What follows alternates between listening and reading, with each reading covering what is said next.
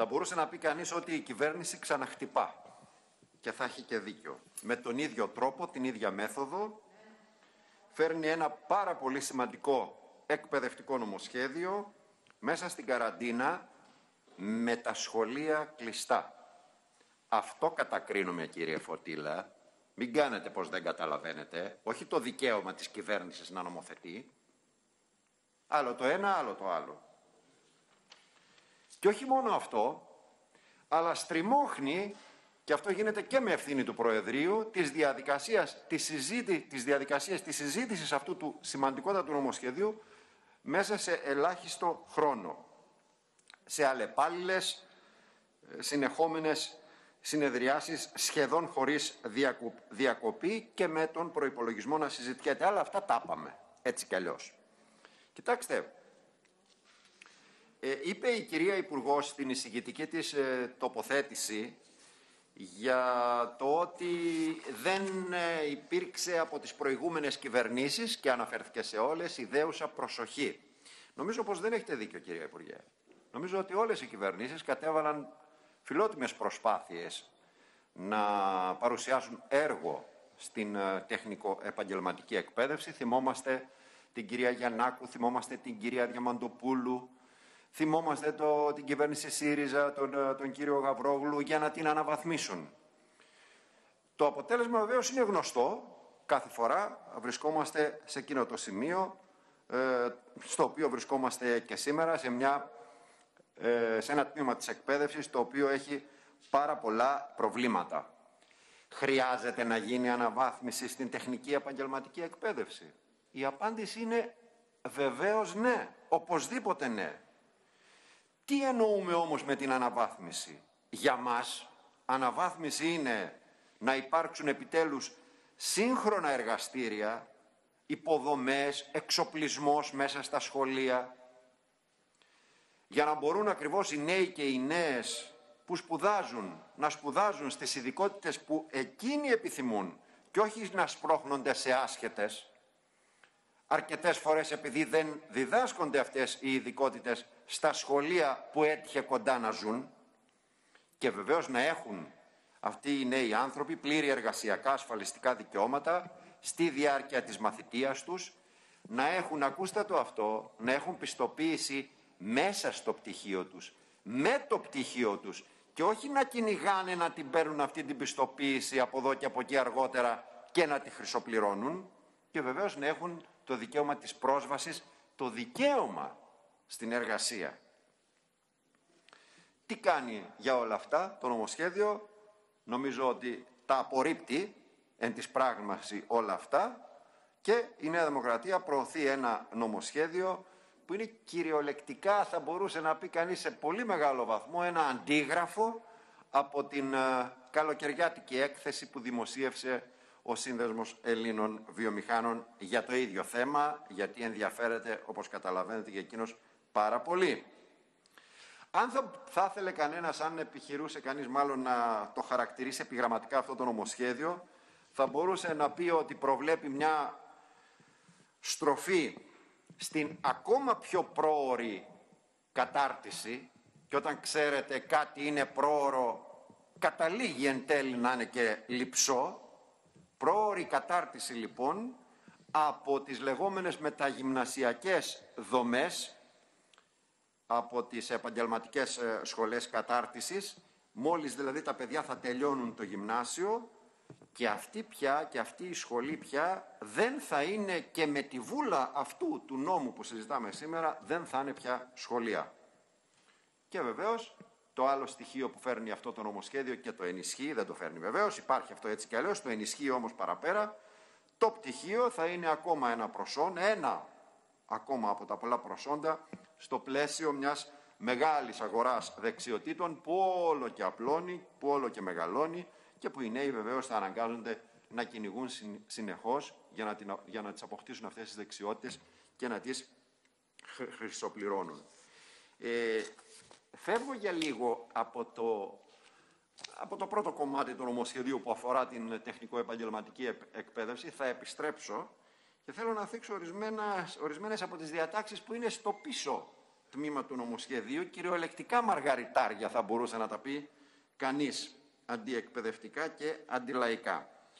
Ξεκινάω με το λεγόμενο νέο σύστημα αναπληρωτών. Τι είναι αυτό πάλι; Θα υπάρχει, λέει, από εδώ και πέρα η δυνατότητα πρόσληψης ορομισθείων σε τοπικό επίπεδο. Θα μπορεί δηλαδή να γίνεται από τον οικείο διευθυντή εκπαίδευσης, το διευθυντή εκπαίδευσης δηλαδή ενός νομού, θα μπορεί να γίνεται πρόσληψη αναπληρωτή αν υπάρχει έλλειψη ορομιστίων, αυτός ο διευθυντής θα έχει το δικαίωμα να τον προσλάβει και αυτός ο διευθυντής εκπαίδευσης θα έχει το δικαίωμα να καταρτίζει και πίνακες σε τοπικό επίπεδο. Κοιτάξτε, αυτό, όπως καταλαβαίνετε, αποτελεί μια βόμβα στα θεμέλια του ήδη λειτουργούντος συστήματος προσλήψεων, όπως και να το δει κανείς. Αλλά δεν είναι μόνο αυτό. Από ό,τι φαίνεται, έτσι και αλλιώς αυτό το σύστημα που λειτουργεί τώρα, το σύστημα πρόσληψης, έχει ένα μεταβατικό χαρακτήρα μέχρι να οδηγηθούμε σε εκείνο το λεγόμενο αποκεντρωμένο σύστημα προσλήψεων της εκπαίδευσης και αυτό προφανώς είναι ένα βήμα, μικρό μεν, αλλά σημαντικό. Πέραν το ότι θα ανοίξει τους ασκούς του αιώλου για τις πελατειακές σχέσεις και για τα ρουσφέτια από διευθυντές ε, εκπαίδευσης ε, εκ των πραγμάτων, θα διαλύσει ακόμα περισσότερο τις ε, ελαστικές εργασιακές σχέσεις και θα έχουν το, αφού οι διευθυντές εκπαίδευσης θα έχουν το δικαίωμα να επιλέγουν αντί για αναπληρωτές μέχρι και ορομίστιους μετά την πρώτη φάση ε, των προσλήψεων. Τότε θα ανοίγει αυτή η δυνατότητα.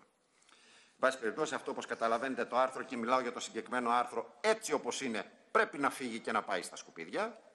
Έτσι όπως το λέμε.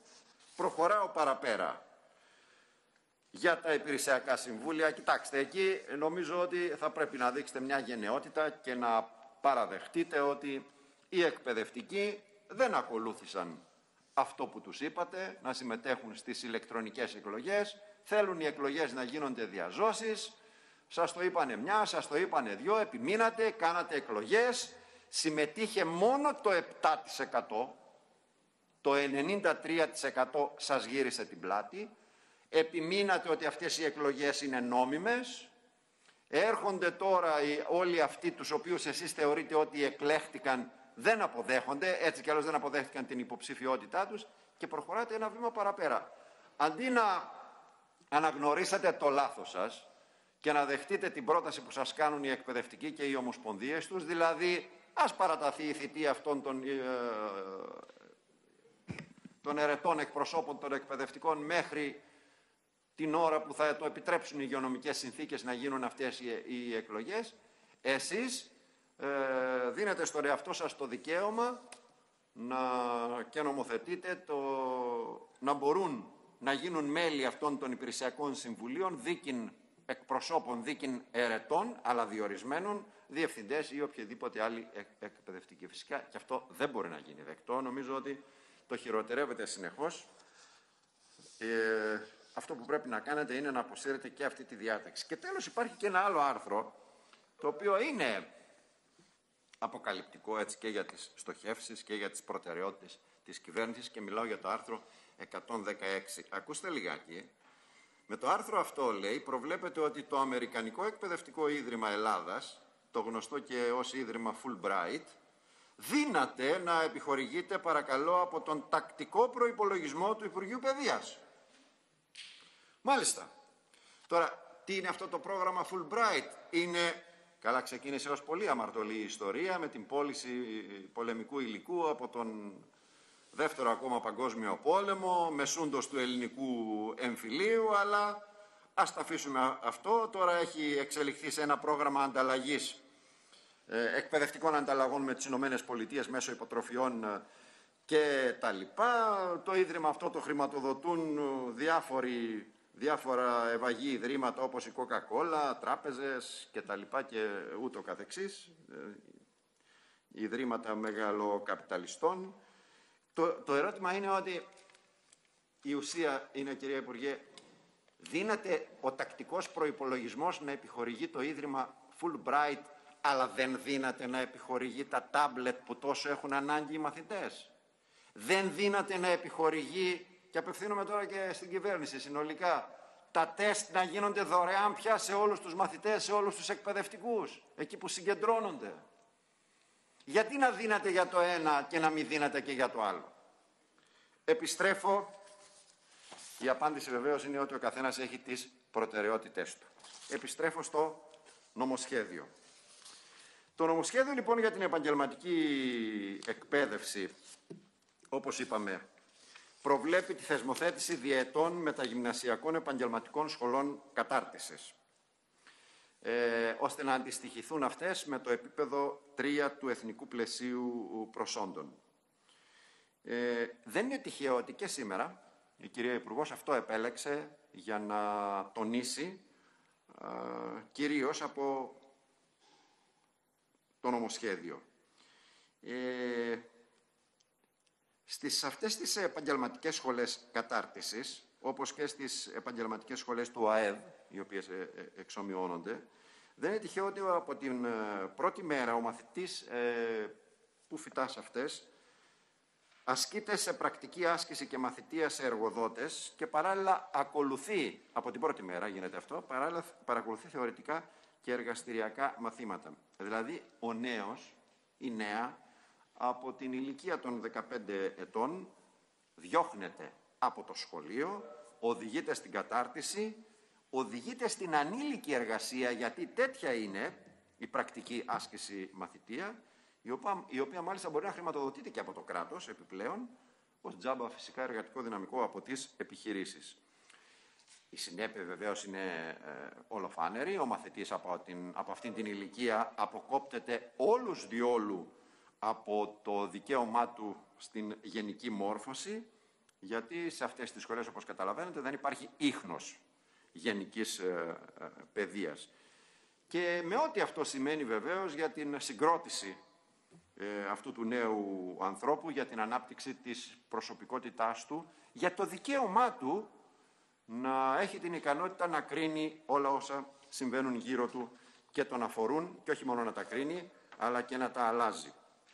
Θεσμοθετούνται νέα όργανα σε περιφερειακό, κλαδικό και κεντρικό επίπεδο που θα εισηγούνται τις ειδικότητες σε αυτές τις, ε, στην επαγγελματική εκπαίδευση, θα παρεμβαίνουν στα αναλυτικά προγράμματα, θα προωθούν την ανάπτυξη συγκεκριμένων δεξιοτήτων, έχοντας όμως ως βασικό κριτήριο, ως βασικό μπούσουλα, τι πράγμα, τίποτε άλλο παρά τις εφήμερες ανάγκες των επιχειρήσεων σε τοπικό επίπεδο. Γιατί ξέρετε, οι ανάγκες των επιχειρήσεων και των επιχειρηματιών είναι εφήμερες. Αλλάζουν οι επενδυτικές τους δραστηριότητες, δεν μένουν πάντα στον ίδιο τομέα και στον ίδιο κλάδο. Η κυβέρνηση λοιπόν διατηρεί και εξειδικεύει το μηχανισμό, δεν λέμε ότι τον εφευρίσκει, έτσι κι αλλιώς υπάρχει αυτός, έτσι κι αλλιώς η εκπαίδευση παρακολουθεί την εξέλιξη της οικονομίας, δεν μπορεί να γίνει διαφορετικά. Η κυβέρνηση διατηρεί και εξειδικεύει το μηχανισμό για τον καθορισμό των ειδικοτήτων από την αγορά εργασίας, όπως προβλεπόταν από τα προηγούμενα νομοθετικά πλαίσια, που και η προηγούμενη κυβέρνηση, η κυβέρνηση του ΣΥΡΙΖΑ, ε, άφησε ε, ανέγκυχτα. Ιδρύονται πρότυπα επαγγελματικά λύκεια, ε, σιγά σιγά θα επεκταθούν λένε σε όλη, την, σε όλη τη χώρα. Με λίγα λόγια εισάγεται η κατηγοριοποίηση των σχολικών μονάδων και στην επαγγελματική εκπαίδευση, γιατί αυτά θα είναι κάτι καλύτερο από τα τυπικά, από τα απλά επαγγελματικά λύκεια.